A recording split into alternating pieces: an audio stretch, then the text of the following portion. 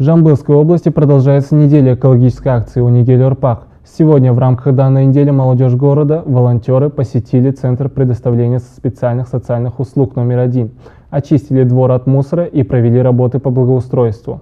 Как известно, в стране проходит республиканская акция «Таза Казахстан», направленная на бережное отношение к природе, охране окружающей среды. В экологической акции приняли участие многие жители регионов страны, которые вносят свой вклад в поддержание чистоты родного края, территории проживания. С начала недели акции у Нигели Орпак волонтеры и активисты проявляют заботу по старшему поколению. В каждом регионе проводится уборка дворов, домов престарелых, покраска ограждений, помощь аксакалам и бабушкам. Цель состоит в том, чтобы повысить повысить уважение молодежи к старшим, популяризировать проявление доброты к пожилым людям.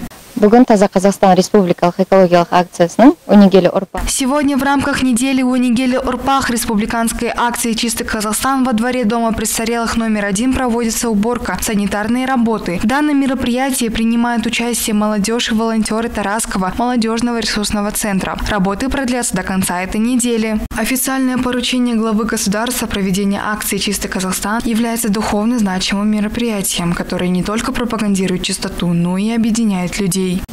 Бүгін Таза Қазақстан жобасы аясының өнегелі ұрпақ апталығы. Сегодня на неделе Унигели Урпах проекта «Чистый Казахстан» мы пришли в Центр предоставления специальных социальных услуг номер один нашего города. Здесь мы вместе с коллегами и волонтерами проводим уборку. В рамках этой недели мы провели работу по озеленению, посадке саженцев и вырубке сорняков. Чтобы достойно воспитать подрастающее поколение, мы должны в первую очередь воспитывать себя. Очевидно, что если мы будем поддерживать чистоту и уважать окружающую среду, тогда и последующие следующее поколение будет относиться к природе бережно. Сара Абдиева, Адижан Сайлаубеков, Алимжан Ахпаев, 77 News.